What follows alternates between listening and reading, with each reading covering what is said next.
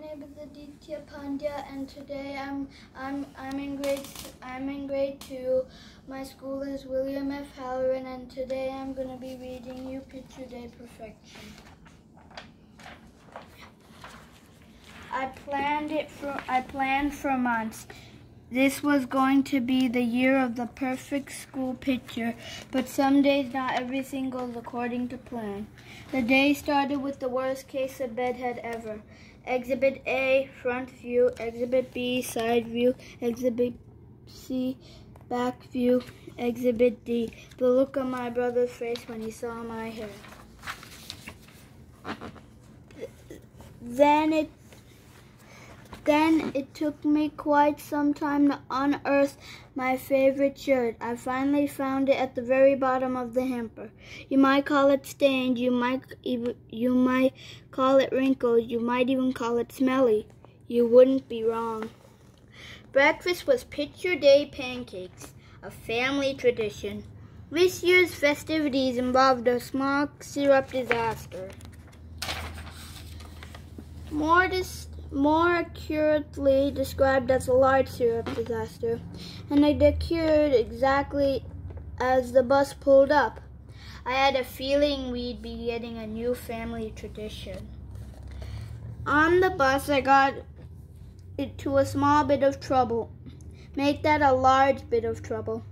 The bus driver made me sit in the seat right behind him for the rest of the ride. By the time I got into school, my picture day face was fixed in a scowl. In class, Mrs. Smith collected our photo order forms. Do you think my mom checked emerald green for my photo background, or peacock blue, or pizzazzy purple? No. Once again, of all the backgrounds in the world, Mom ch checked snoring, boring, traditional gray. no one gets traditional gray except for me. And it just so happens to be the only color in the world that makes my favorite shirt disappear. All but the stains and the wrinkles. After that, after that, after that, the teacher had us all stand up and practice our picture day smiles. Personally, I thought we needed a little something to get us in the picture day mood. Whoops, got myself in trouble again. Luckily, I got to rejoin the class in time for art. Art involved quite a lot of paint, or at least it did for me. Finally, it was time to line up for our photos. Ned, just in front of me, got the last complimentary plastic comb. I watched as classmate after classmate smiled for the camera. I got queasy listening to everyone say cheese. I can't stand cheese. The, the, the mere thought of it turns me green, deeply green. And just as my face reads its most awful pea green shade, it was my turn. I stepped forward. I sat down on the stool. It was hard as a rock and cold as an iceberg. Just a sec, said the photographer as he fiddled with the camera knobs.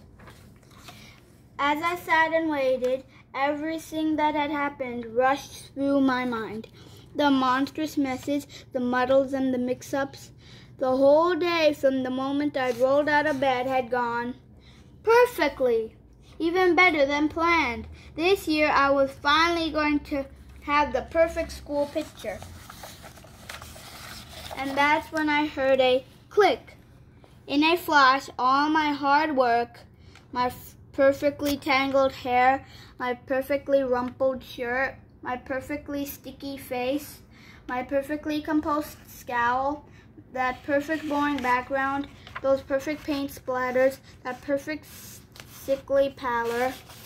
Wasted, useless, ruined, in a moment of weakness by an unexpected smile. Mom says it's my best picture ever.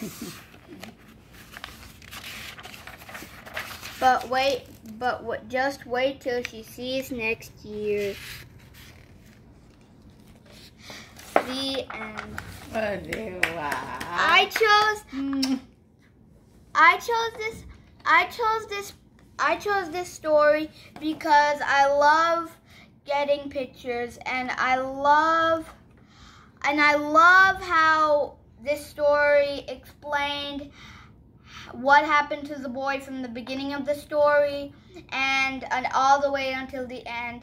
And most of all, there were there were so many different things that happened to the boy, and my favorite part was when the syrup dripped all over him and made him so shiny and sticky. Thank you for watching my video. I'll probably see you next time. Bye.